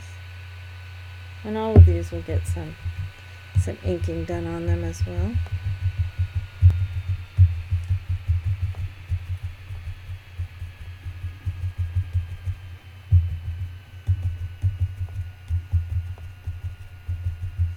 Now I, you can do this on top of like a, a nonstick. This is a Ken Oliver mat and I'm going to get some of these and carry them um, in my shop. They are the coolest mats. Um, I like them better than the Ranger one.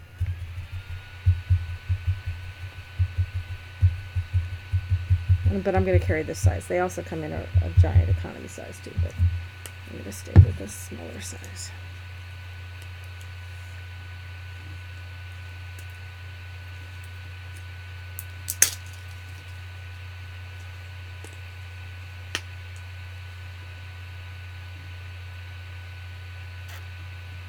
Now this is a lighter green.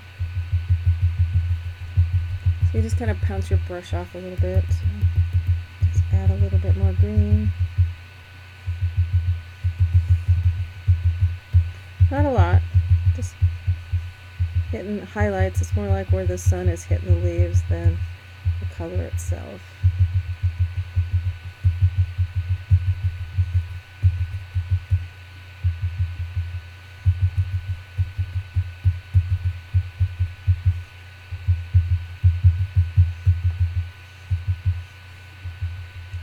Do a little bit of touch up on these leaves too. Not a lot. I'm not going to do anything on those.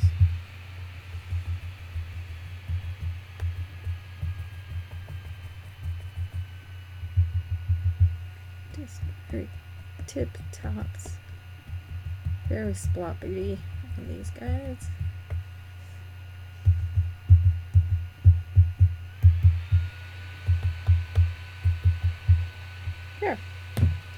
It gives us those. Oh, and I still need to do those guys. Um, these guys I'm going to do the, the olives and stuff, and then we'll do some color on that. And I think we'll save these and do these when we do the leaves, because I want to add that kind of blue-violet to these guys as well. So um, I'm going to save these and do these with the leaves on Sunday. Um, so that these guys are all good to go.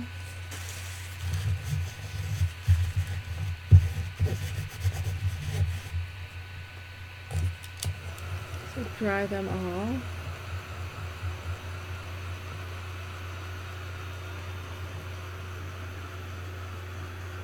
Alrighty, so, and this is where we're going to end for today.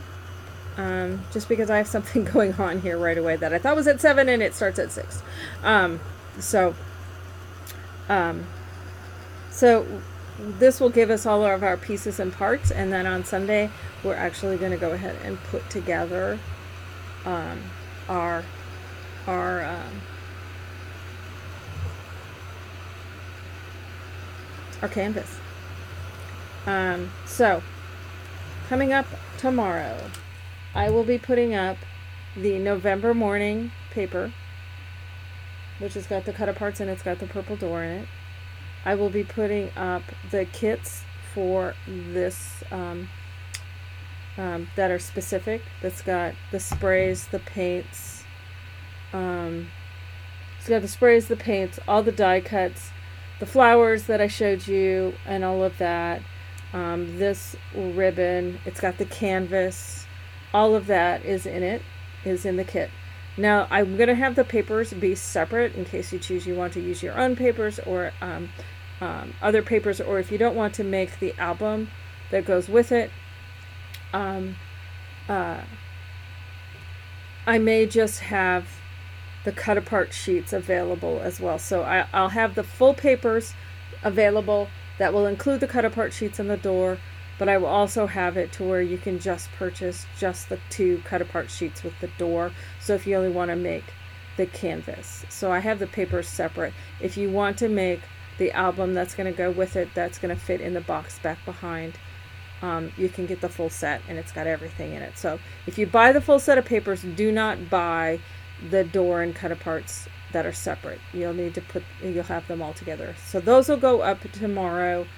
Um, the um, it'll have like I said, have all the die cuts. So it'll have the two stencils, um, the four sprays.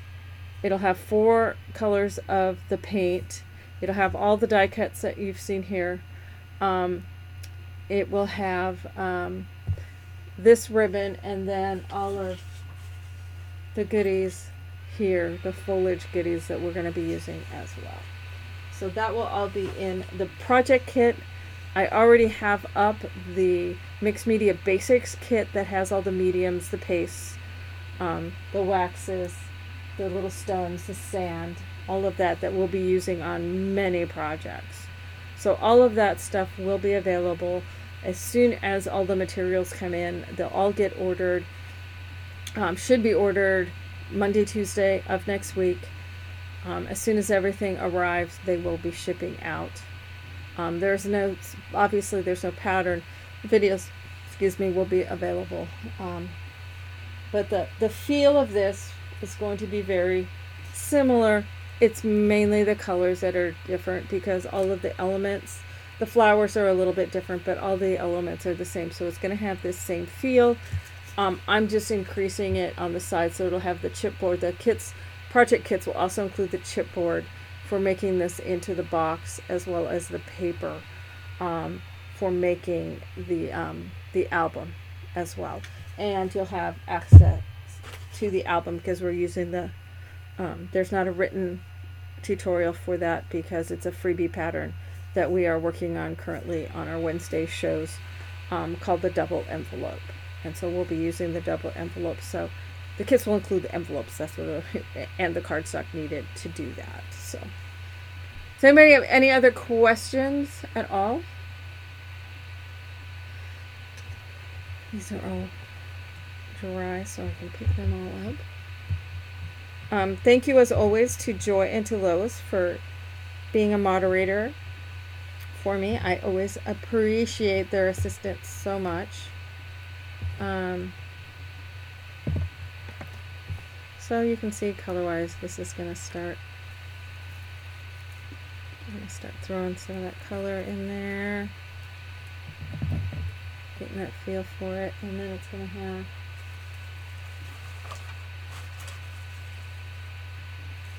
kind of rusty colored flowers.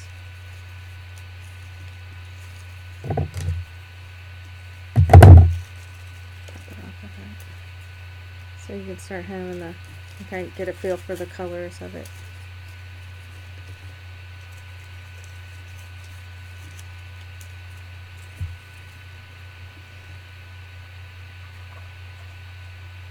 A couple of these guys in there. We'll also have some of these kind of leaves coming in as well. So you'll be able to start getting a feel for the coloring of it. So some of these guys will tuck back behind the door. Then we have the kind of these frosty little leaves coming in. So you can get a feel for kind of what the coloring is going to be coming together for this one. It's a little bit different, little little more subdued in terms of the coloring. Um, I also have some little stick pieces and these little get these little pine cones off and those will get added in There's some of these little evergreen pieces in there so it's going to be add some little sparkly sparkly little balls in places. And those are little magic parts. So um, be adding adding that to it. And then with the pops of the purple in there. I think it's going to be a really, really lovely piece. So. And again, videos available here on YouTube for free viewing, over on my website also for free viewing. So, um, and we'll continue this through, and it'll be done on Sunday. So, um, if you have any questions, feel free to give me a shout.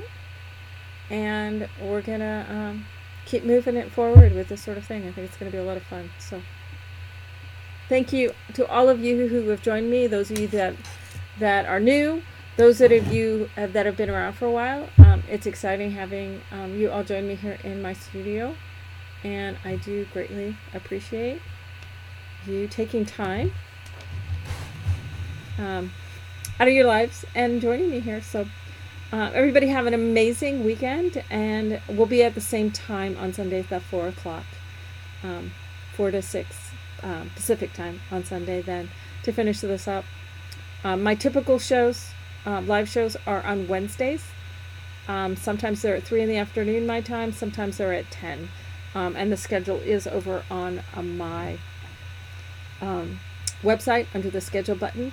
Um, won't always know what we're going to work on. we I have been working on an album that I'm going to switch it over to um, the papers that we're using on this one, so it'll be the album that fits into this one. So um, just gonna go play in the forest a little bit more with our little fairies and wee folk. My favorite thing um, to do. So, alrighty, guys. Everybody have a great weekend, and we will see you then on Sunday. So peace out. Love you bunches. Bye for now.